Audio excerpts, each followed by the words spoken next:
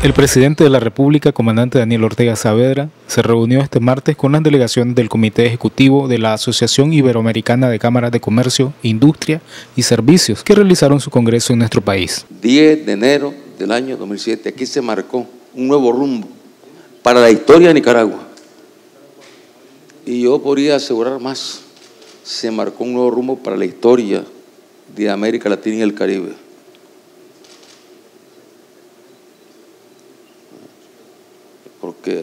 Aquí somos un solo gobierno, trabajador, empresario y el Estado.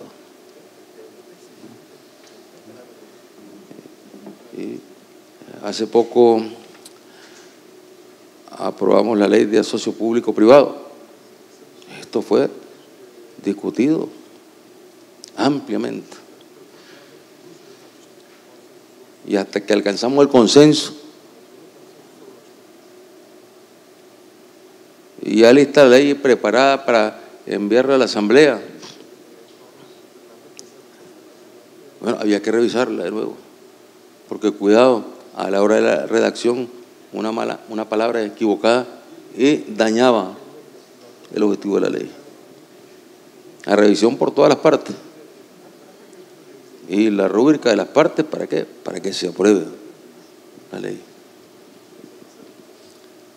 Y esto va para todos los campos, en lo que es la gestión económica productiva de nuestro país.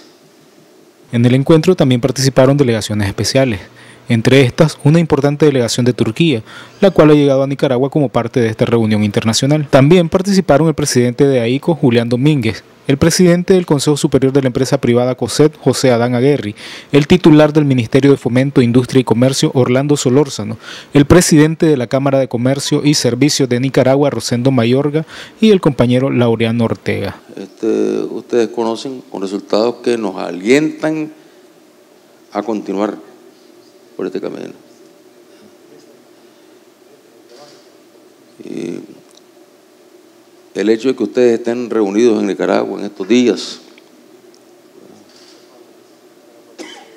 es una prueba de confianza de ustedes en este país. En este país en, eh, donde día a día eh, se viene haciendo desde la hora más pequeña que impacte una familia que está en condiciones precarias hasta grandes proyectos que tienen un impacto ya multiplicador en lo que es la economía del país, en lo que es el trabajo, en lo que es el trabajo de manera directa e indirecta eh, de nuestro país. Nicaragua ha sido sede estos días de la 46 reunión de esta asociación empresarial. El comandante Daniel destacó que Nicaragua ha transitado por un proceso de paz y reconciliación para lograr la unidad nacional, lo cual ha permitido una positiva evolución económica y social que goza de reconocimiento internacional.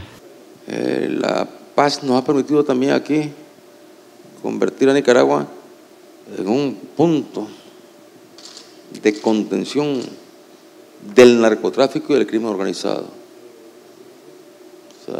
Es reconocido en toda la región y a nivel internacional el alto grado de seguridad que tiene Nicaragua. El mandatario refirió que este modelo de alianzas, diálogo y consenso está establecido en la Constitución Política de la República, de tal forma que las leyes y las decisiones son consensuadas entre todos los sectores, siendo esto algo que permitirá que Nicaragua siga avanzando por un modelo de desarrollo económico. Unidos hacemos fuerte al país.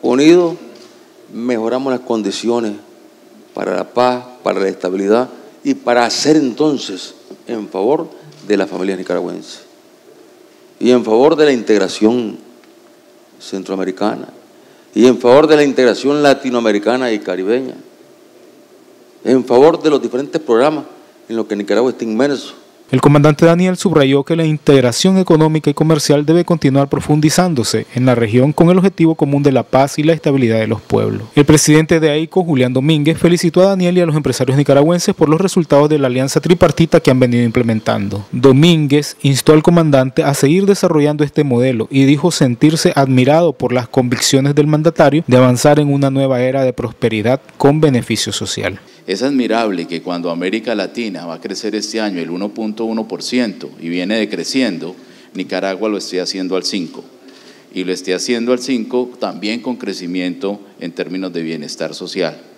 Eh, yo creo que para nosotros ha sido muy ilustrativo.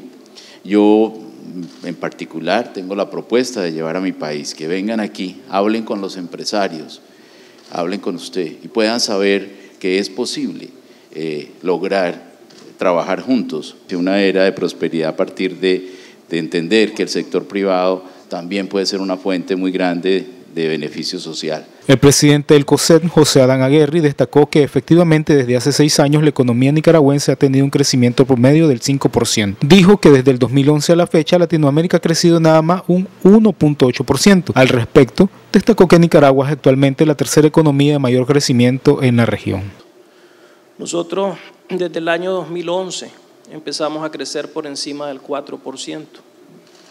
Cuando empezamos este esfuerzo, que ya lleva, fue como una especie de ancla que pusimos que Nicaragua tenía que crecer a no menos de 4% cada año. Y desde el año 2011 que lo hemos hecho, en los últimos seis años hemos tenido un crecimiento promedio de 5%, arriba del 5%. Y cuando nos comparamos con la región latinoamericana, obviamente la región en este mismo periodo del 2011 para acá ha crecido 1.8%. Hemos crecido 2.8 veces por encima del crecimiento de la región y hoy Nicaragua es la tercera economía de mayor crecimiento de la región. En los mismos términos se refirió el presidente de la Cámara de Comercio y Servicios de Nicaragua, Rosendo Mayorga, quien instó a los presentes en el encuentro a convertirse en embajadores y que cuenten en sus países las experiencias de Nicaragua y lo mejor que queremos nosotros de parte de Nicaragua es que cuenten lo que vieron en Nicaragua, que sean unos embajadores de nosotros y que en cada uno de sus países cuenten lo que vieron, cuenten los lugares que hicimos, lo que, que, asistimos y que cuenten las experiencias que vieron. Muchas gracias. Por su parte, el presidente de la Cámara de Comercio de Turquía agradeció el recibimiento que le brindó Nicaragua durante su estadía en el país. Han sido ustedes un, gran anfitrión, eh, nos han brindado su calurosa bienvenida y nos han abierto sus brazos.